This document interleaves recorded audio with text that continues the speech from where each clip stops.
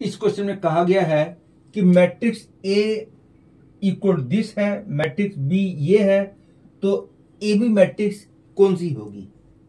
मैं ए और बी को मल्टीप्लाई करने के बाद यदि ये वाला एलिमेंट निकाल लेता हूँ, ये वाला एलिमेंट वन आया तो फिर ये दोनों तो पक्का गलत हो जाएँगे। और यदि यहाँ पे फाइव आया तो फिर ये पक्का गलत हो जाएगा।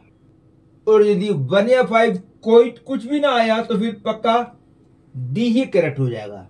तो इसलिए पहले मैं ये वाला एलिमेंट निकालता हूँ।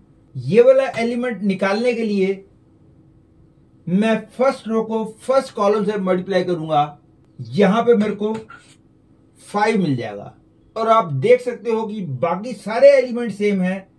केवल इन दो मैट्रिक्स में ये वाला एलिमेंट और ये वाला एलिमेंट डिफरेंट है। तो अब इनमें से कौन सा करेक्ट है?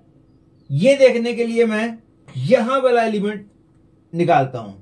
ये वाला एलिमेंट निकालने के लिए ये थर्ड रो फ़र्स्ट कॉलम वाला एलिमेंट है, इसलिए इसकी थर्ड रो को इसके फ़र्स्ट कॉलम से मल्टीप्लाई करना होगा।